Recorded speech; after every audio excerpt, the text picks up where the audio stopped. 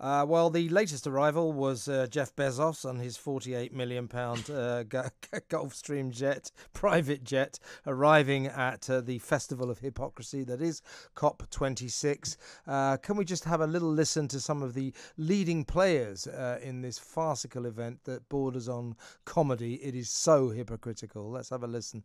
Well, this is very, very urgent for not just for our country, for the whole world. And if I had to give a comparison, I'd say it was a, it was a one minute to midnight moment, and the uh, the clock is is is ticking. We have to get uh, everybody to do more, and they need to make further commitments. They need to make further commitments on how we're going to move away from coal, from fossil fuel burning, the COVID 19 pandemic has shown us just how devastating a global cross border threat can be. Climate change and biodiversity loss are no different. In fact, they pose an even greater existential threat to the extent that we have to put ourselves on what might be called a warlike footing. Well, uh, that's just a, a few excerpts uh, from the verbiage uh, being spewed up there in Glasgow. Uh, Joe Biden's on his feet making a speech now. I wouldn't want to inflict that on you, David. Uh, but uh, the levels of hypocrisy are just astounding, aren't they? Joe Biden up there telling us about saving the planet, not emitting carbon. he took 85 cars with him to Glasgow and is rushing around the city in a 20 car cavalcade. It's just obscene, isn't it? It is obscene. I mean, nice speeches, good set pieces, highly choreographed, these two announcements on deforestation, and then, of course, reduction of methane. But the frank hypocrisy, as you say, Boris Johnson, if you remember, set out and said, We are surrounding the planet in a cloud of carbon dioxide. And the frank hypocrisy that they fly in in 200 to 400 private jets seems to be lost on them. Even my arch nemesis, Ursula von der Leyen, came in from Europe on a plane. Why can't she? Get Eurostar like we used to do when I was in the European Parliament. I think people are sick and tired of being told what to do. I think the melodrama behind this, we've had a crazy two years, a horrible two years, and suddenly it's now our fault once again for something else. Boris Johnson talking about one minute to stop the detonation of the time bomb. And whilst most of us, or the vast majority, want to do something about climate change, the big question and the elephant in the room is who's going to pay for it? Yes, uh, I'm gathering that one estimate is uh, that uh, to reach carbon net zero by 2050 will cost Britain uh, $1,000 trillion. Uh, and that means that will cost you and me uh, and the taxpayer all that money. And one thing I was talking about last night, but I'd like to, to get your view on it. I mean, what we've got here is a bunch of ephemeral world leaders, people who are running their countries right now, making pledges about 2030. They're unlikely to be around then, at least as world leaders. Uh, but also 2050 for carbon net zero if you're in Britain, 2060 if you're in Saudi Arabia, 2070 if you're in India. Uh, in other words, these are pledges uh, that none of these leaders will personally be able to guarantee, basically because they'll all be dead and their successors will ignore the empty promises of the past. We are getting nothing but hot air. None of this stuff is going to happen. I mean, it, it, would be laughable if it wasn't so serious. Absolutely right. The fact is that actually the UK has done an enormous amount to decarbonise. We we are well ahead of many of our competitive countries. And the fact is that actually we do need to do more, without a doubt. But as I keep saying, who is going to pay the price of this? How ma- many of these commitments are actually binding? We don't know. And if you remember going back, it was Theresa May in 2019 who committed us to this net zero target, but without actually actually consulting anyone. And then Boris Johnson went one step further, trying to be this great big statesman by including international air travel on it. And the fact is, the British people have never been asked what they want. And I think it's about time we had a referendum on net zero and whether we actually want to pay for it. And the question is, how are we going to do it? And going forward, we're already seeing skyrocketing energy prices. We're seeing energy companies folding. I think in the new year, it's really going to hit home very, very hard. And I'm not sure that people are willing willing to pay for it. But let's ask them. Uh, indeed, but they will not want uh, to hold that referendum. Our government will not want to do it because what they want to do, these world leaders, is persuade themselves that their obsession uh, with climate change, uh, with our green future, is wildly popular among the people. Uh, and the reason they won't have that referendum is because secretly they fear that the British public would vote against Boris's green fantasy because it'll cost us too much money. Uh, so they are forging ahead uh, with something that nobody voted for, uh, and uh, they are they've become a power unto themselves, and we, the people, do not even get a look in. It's kind of strange, is it not? It is incredibly strange. I think they're also, it's just so ironic. They don't see that the, the, sort of the, the enormous travesty in this. The fact is that government ministers talk about hydrogen boilers. That technology doesn't exist. They talk about ground source heat pumps. That technology isn't very good. They're talking about actually freezing your gran with their boiler ban. None of it is workable. None of it is practical and people can't afford it. And it just seems incredibly hypocritical that you've got these, these elected leaders who are essentially pontificating and, and traveling around the world on their jets, telling us uh, mere common mortals what we can and can't do.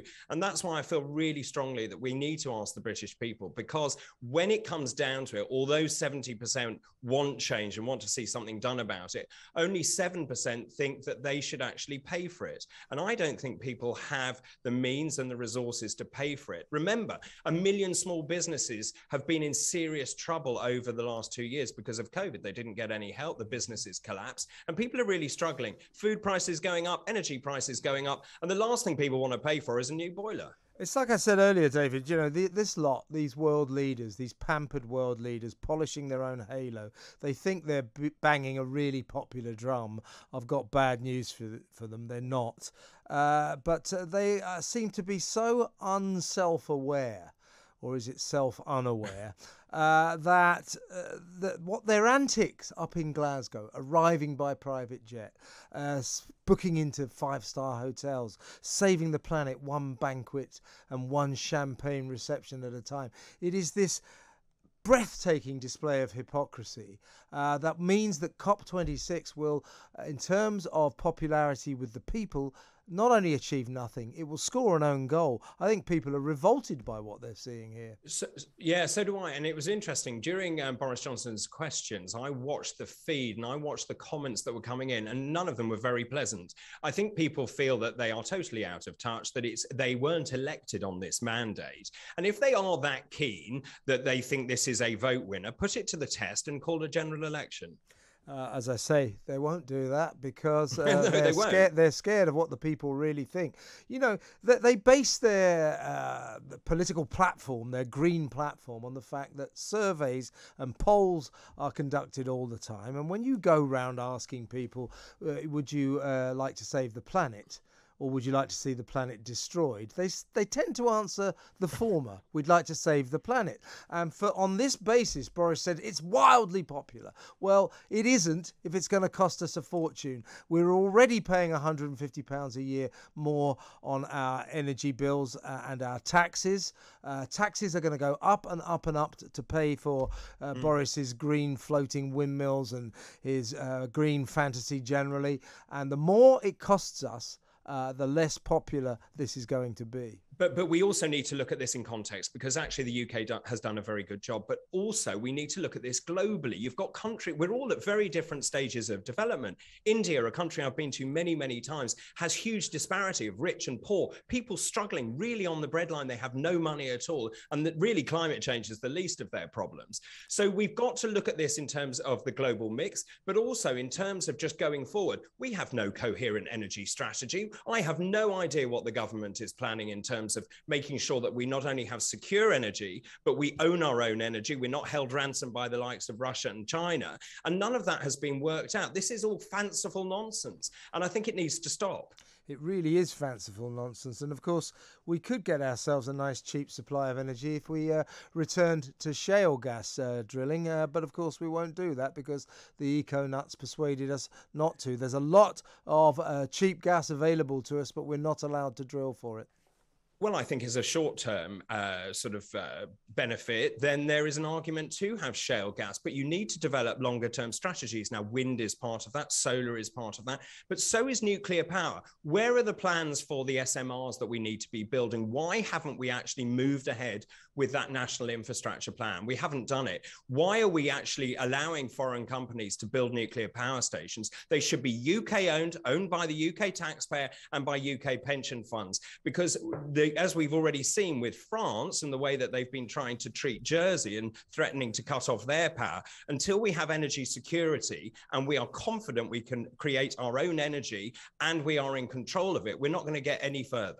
Agreed. Uh, let's uh, leave uh, the world leaders to polish their halos up in Glasgow and uh, perhaps return to the real world. You and I were discussing vaccine passports last week, David, because you went to a concert uh, where you were required to produce evidence that you'd had double jab. You did that, and guess what? You got COVID. Glad to see that uh, you seem to be back to your fighting fit best now, so that's good news. But you were very disdainful about the efficacy of of vaccine passports, which brings me to Wales. Wales has got vaccine passports. They've been in operation for a few weeks now. Uh, it's got the highest COVID rates in the country. Uh, why uh, uh is England still interested in vaccine passports when we have that evidence, your personal evidence and Wales's evidence that it just they just don't work? Well, I know, absolutely. I mean, the whole thing is absolutely ridiculous. If you look at the hard f- science, and remember, the government keeps saying we're going to be led by the science and then, quite frankly, ignores it. Um, 80% of people are now vaccinated. We believe 92% have antibodies against COVID. Even the doom mongers of SAGE are saying that actually it's not going to be as bad this winter as it has been previously. And we've broken that link between getting COVID, as I did, and becoming seriously ill and being hospitalized or dying. And all of that is really good. But the elephant in the room, once again, is what's happening to everyone else the six million waiting for elective procedures, those thousands of people who can't start chemotherapy or radiotherapy. And the thing that's really incensed me is the fact that actually the public behaved incredibly well in that lockdown and didn't go and see their GPs. They're desperate to see GPs. As we know, you can't see a GP. Many of them still not doing face to face appointments, even though the government has told them to do so. And now the British Medical Association, the union that represents me, is threatening strike action. Again, I think this shows they are totally out of touch with how people are feeling. The fact is that we pay for the NHS, we've protected the NHS, and it's now time for the NHS to protect us. Yes, as uh, as I said uh, previously, uh, in, in exactly what way does the BMA think that GPs threatening to go on strike protects the NHS. it's just uh, breathtaking that nonsense. Well, also, uh, I just think it shows how out of touch they are. Actually, the average GP does three days of clinical work a week. They spend about fifty-nine percent of time seeing patients. The average salary for a GP is extremely good. It's a hundred thousand before expenses and before tax. And when you contrast that with those people who've lost their businesses, people who are struggling, people on minimum wage, suddenly it seems incredibly greedy and out of touch for the GPs to to say they want more money, they want better conditions. It's not acceptable. Yeah, particularly at this moment uh, while we still are fighting the COVID crisis. Although, as you indicate, David, it does seem to be uh, uh, rescinding a little bit, going into retreat a bit. So hopefully we will not have a winter of discontent in terms of COVID. Although I'm sure the hospitals will get overrun like they usually do every year. It's a grand old winter tradition. Uh, my final question, really, to bring us back to where we started. Why do you think it is that the uh, COP26 delegates in Glasgow in Scotland uh, don't have to follow uh, the vaccine passport rules like the rest of the population? Well, isn't that a good question? How is it members of parliament don't have to follow their own rules with mask wearing? I mean, all of the rest of it, you know, there, there's one rule for, for them and one rule for us, and that just simply isn't right. I was always taught you lead by example. They're not doing that. Certainly not. Uh, David, uh, excellent to talk to you as always. Thank you so much.